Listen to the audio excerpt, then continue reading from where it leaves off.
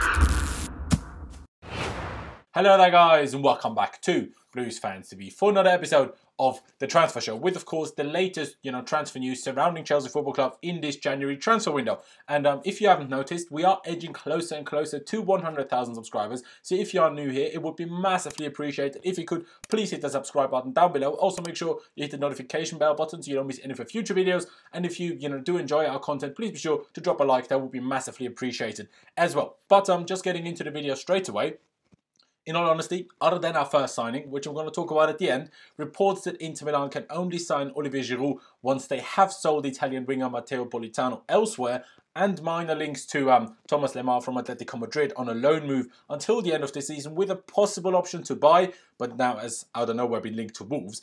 The only real news I have for you today is links to some, in my opinion, rather underwhelming centre backs. You know, I have to be honest like that. I mean, firstly, it is reported that Chelsea are interested and have actually inquired about Brighton and Hove Albion centre back Lewis Dunk, who the South Shore club apparently value at 50 million pounds, which is like what? 50 million pounds for 28 year old Lewis Dunk. I mean, of course, I mean, first of all, he's obviously English and he is a decent and proven Premier League centre back and he is 28. So it's not like, you know, you're getting someone inexperienced. I think he's also the captain of Brighton. But is he really what Chelsea need? I mean, I would strongly argue against it. I mean, I really don't think that he is what we need. But even if the interest is real, you know, let's just hypothetically say that the interest is real. You know, the media, you know, every there's so many rumours. I mean, the amount of players that Chelsea have been linked with this window, and it's only the 13th of January, is actually ridiculous. But um, you know, even if the interest in Dunk is real, I can absolutely guarantee that Chelsea will not sign him for, for Brighton's apparent, you know, asking price of 50 million pounds. Like that's just, that's just not happening. Other than that, and just further underlining our seeming interest in signing a centre back, well, I'm just sat here asking myself, why aren't we just making use of that 40 million pound buyback clause we have for Nathan Ake from Bournemouth? A buyback clause that, by the way, at least reportedly, runs out this January, this window. So I'm like, I mean, if we ever want to sign him back, and if we ever want to sign him back for as cheap as 40 million, I mean, we got to bloody do it now and not look at bloody Lewis Dunk. Do you know what I mean? Um, like, I still don't understand that, how we even linked to these other players and haven't long signed Nathan Ake already. But, you know, I guess we'll just have to wait and see. Either way, Chelsea have also been minorly linked with the 22 year old Brazilian Lille centre back, Gabriel Magalhães. Magalhães. I'm not 100% sure how to pronounce that in Portuguese, in all honesty, but he's just called Gabriel. Um, he's a regular starter for Lille at centre back and has really come into his own this season and with some very good performances, you know, along the way, really, for the French outfit, of course. He is a, you know, six foot three dominant centre back and Brazilian, so naturally quite good with the ball at his feet. Reportedly, the talks are also held by fellow countrymen of an agent was previously involved in Chelsea signing the likes of David Luiz, Oscar, Ramires, Willian, and other Brazilians as well, such as like Kenedy or Pato. Um, but in all honesty, I wouldn't read too much into that link either, into the link to Gabriel.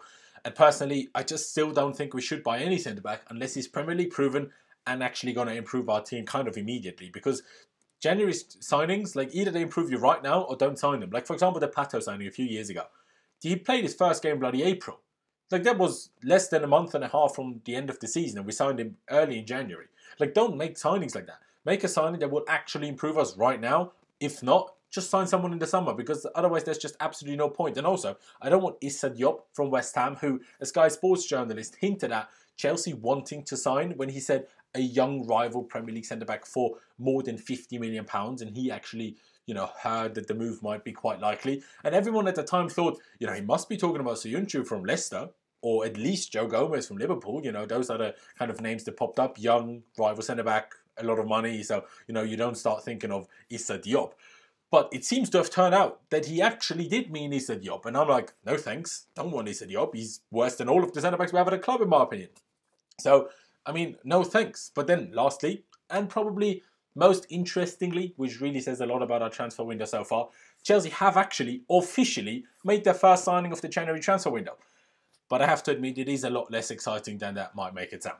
As we signed a highly rated, to be fair, highly rated 16 year old, 16, yes, 16, Norwegian forward Bryan Fiabema from Tromsø IL. IL just means sports club in Norwegian. Um, obviously, a Norwegian club on a three and a half year deal for our academy, basically. I mean, at least he will join the academy for now. I guess, you know, if he improves incredibly well, you know, he will obviously become part of the first team squad. I mean, he did have a trial in December in which he clearly impressed enough for the club to go out and sign him on a permanent deal.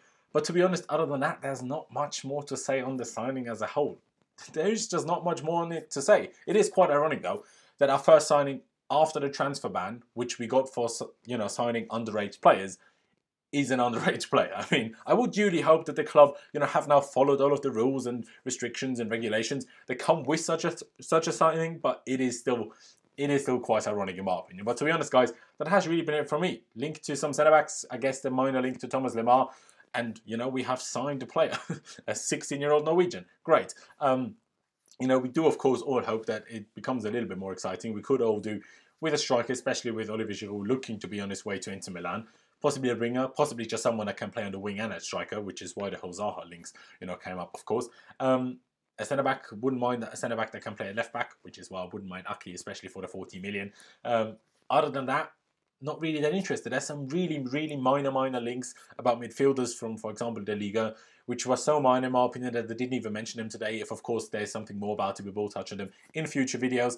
But I just don't see the point in us signing a midfielder, in honesty. But yeah, guys, I'm going to leave it here. Thank you guys for watching. I really do appreciate all of you guys that have tuned in. Of course, like I said in the beginning, we are on the road to 100,000 subscribers. So if you're new here, please be sure to subscribe. Make sure you drop a like on this video if you enjoyed it. And also make sure you hit the notification bell button um, and choose to be notified with all uploads so you don't miss any of future videos. But yeah, thank you guys for watching. Up to Chelsea. And I'll see you when I see you.